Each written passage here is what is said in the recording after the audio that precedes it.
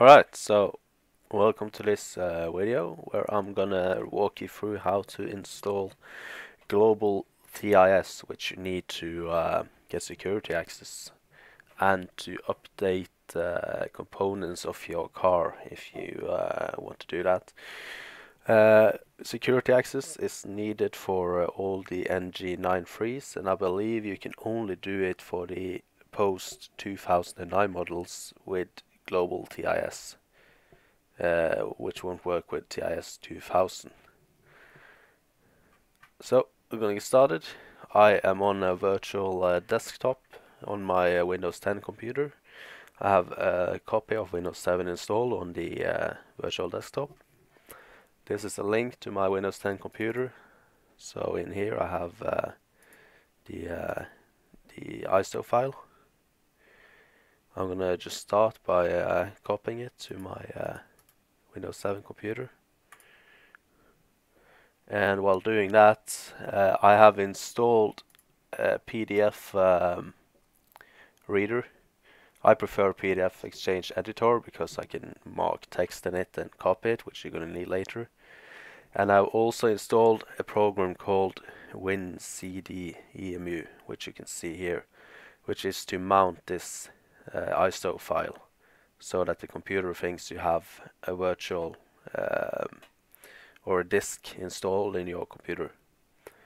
So this one just finished. I'm gonna right click it, use the uh, program that I've installed to run this. I'm gonna let it just sit on S. Open it here. If you don't get this prompt, you can go to computer and find it here. So I'm gonna run this setup which can be found in uh, it's this one. Click OK.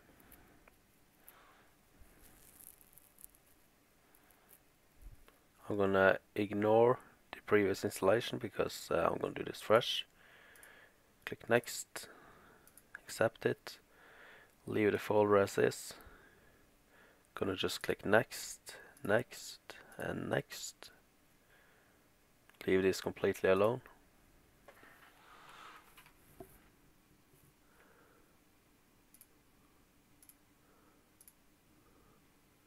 And install and let this run all the way through so uh, install is uh, getting close to the end here. So this could take a minute or two, but it's done. Gonna press OK there. Uh, so now starts the um, let's call it the tricky part, because um, this is where you need to go a bit deeper into your settings. So you're gonna start off going to computer, control panel, you go to system. Then you go to system again. You hit advanced system settings. Environment variables. And up here you're gonna hit new. Now I'm gonna navigate to the location where I have installed uh, global TIS. I've installed it in the standard locations. If you do it, it's going to be the same as I'm doing now. Go to um, global TIS, JRE, bin. Then you can click up here, copy this, paste it in both fields. Just to be sure. I don't know what it does, but you need to do it. then you uh, hit restart.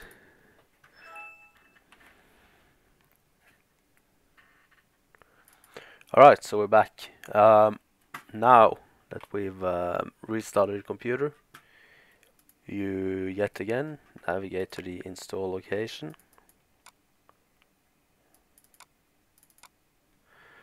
Now you're going to navigate to Tomcat web apps root and you're gonna install this version of Java.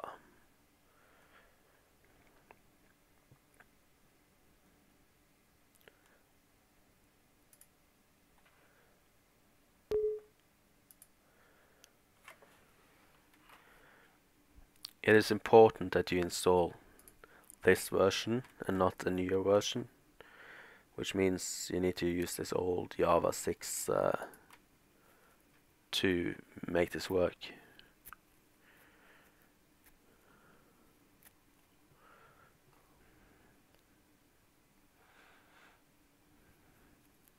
There we go. Now you're gonna run this one.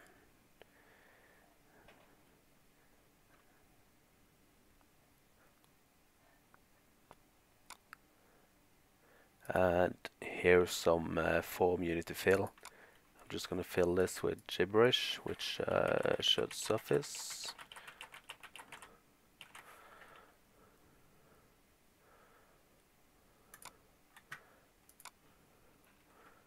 Saab is selected, don't think it matters.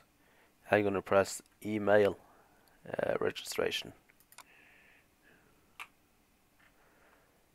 Save it. I'm gonna save it on my desktop. I'm gonna open it. You see it. Uh, you see it here. The file I'm opening.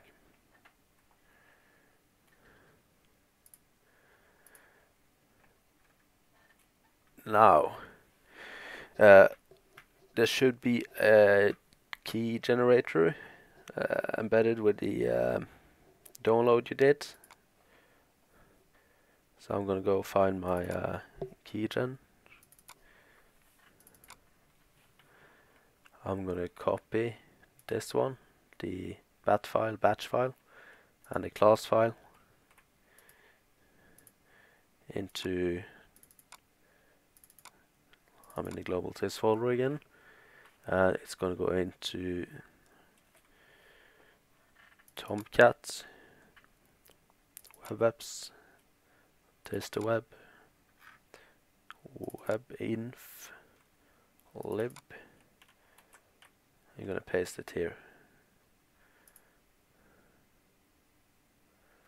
And there we go. Next, you're going to hit start down here, CMD, and you get this prompt up here. Then you need to go to this field up here, copy,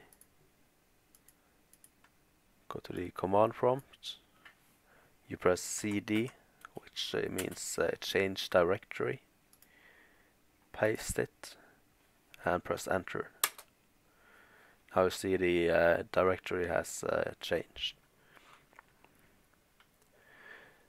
Now you're gonna go to this uh, form that you opened, the PDF uh, file. You're gonna have to, or you can just, you know, you can just uh, type this in. But this is why I'm using PDF-XChange Editor because I can, uh, um, I can select text like this and simply copy it. I'm gonna make a new text document. Let's call it key, whatever you like. Gonna paste it here. That was the first part of the uh, key. Then you need to do the same here. Copy it, paste it behind this one. Now comes the part where you have to mark it edit, replace. You're gonna have to remove all the dashes between the numbers and letters and that means you have to find dashes and replace with nothing. Just replace all. Now you can see it's a consistent string of numbers and letters. You copy this, you go back to the uh, command prompt, you uh, type in keygen dot bat space right click paste okay so what happened now is that we have generated uh, two keys. This one, let's see, right click mark this one being the first one. So we're going to go back into the registration form on this one. Click yes. And down here there's something called subscriber ID. Subscriber ID is going to be the no one starting by T. So when you've marked it here, right again, right click, mark, control C, and you can paste it down here. Then license key is going to be this long string here. You can right click, mark, double click it, control C. Then you paste it down here, control V. Then you press register license key. OK. License was registered in Global TIS has been activated log out, close the browser, close all this, then you can open it again. Now you should get this uh, screen. And here you are. Now you can uh, access your Tech 2. I don't have it connected, so I can't connect to it. And you can get your uh, security access can also do remote Tech 2 you via, via this program. So uh, that's it for this video. I'm not sure if I'll be making another video on how to connect the Tech 2 to Global TIS. Um, that's going to be highly individual on which adapter you have and if you're using a virtual uh, desktop as I am. So I think that's going to be more of a confusion than a help to other people. Thank you for watching.